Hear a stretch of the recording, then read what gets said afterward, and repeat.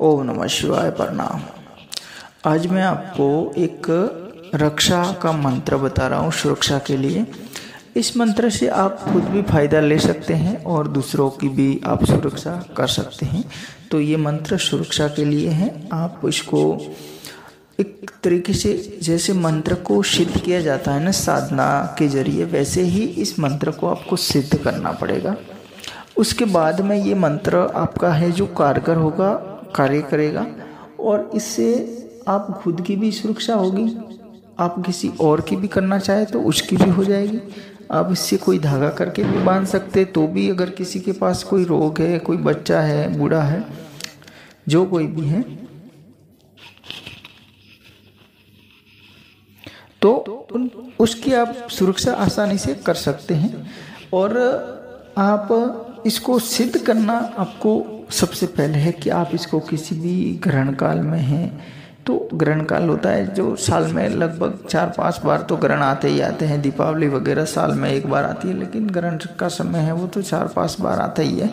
तो आप ग्रहण काल का कोई भी समय देखिएगा, उसमें आप इस मंत्र का अच्छे से तैयारी के साथ में सिद्ध कीजिएगा। ग्रहण काल में सिद्ध करने का तरीका वही है कि दस हज़ार जब किए जाते हैं, उसमें आपको क्या करना है कि ग्रहण शुरू होने से पहले शुरू करना है। पूरा ग्रहण है जो आपकी साधना में निकलना चाहिए। और कभी ग्रहण का मतलब ये होता है कि कभी आधे घंटे का भी होता है, कभी दो घंटे का भी होता है। हो सकता है कि भाई एक घंटे पर आधे घंटे का है तो आप आधे घंटे में तो दस हज़ार जब नहीं कर सकते ना।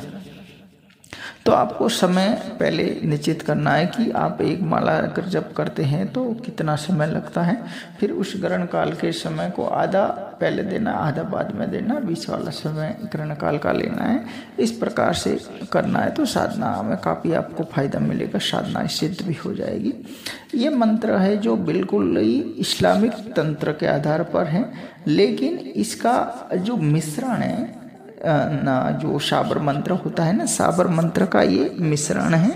तो आपको इस प्रकार से इसका जो मैं स्क्रीन पर दे रहा हूँ, आप उसको इस प्रकार से आराम से लिखिएगा और लिखने के बाद याद कीजिएगा, याद हो जाएगा पाँच दस मिनट में आपको याद हो जाएगा। थोड़ा बड़ा है दो चार लाइन है, लेकिन आसानी से हो जाएगा और फिर इसको आप जब आपका मुख्य जुबानी याद हो जाता है ना, तब जाके ये आपको जब करना शुरू करना है ताकि आप बीच में बोलेंगे नहीं, मंत्र मंत्र के अक्षरों में कुछ गड़बड़ता हो सके।